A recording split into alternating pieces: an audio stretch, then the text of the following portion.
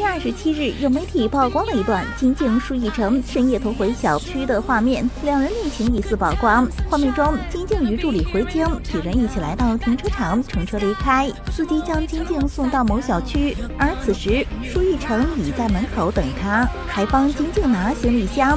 随后两人一起回家。到门口时，舒雨成负责和保安沟通，请对方开门。跟在身后的金靖掐了一下他的腰，还摸了摸背部。而等门开之后，两人一起进入小区。据悉，金靖此前曾自曝有男友，却有网友表示其男友就是舒逸成。